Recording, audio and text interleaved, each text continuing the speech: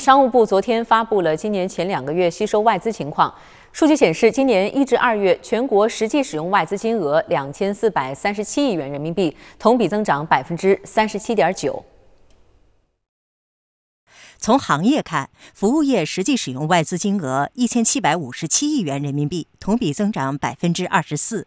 高技术产业实际使用外资同比增长百分之七十三点八。其中，高技术制造业增长百分之六十九点二，高技术服务业增长百分之七十四点九。从来源地看，“一带一路”沿线国家和东盟实际投资同比分别增长百分之二十七点八和百分之二十五点五。从区域分布看，我国东部、中部、西部地区实际使用外资同比分别增长百分之三十六点六、百分之七十四点九和百分之十三。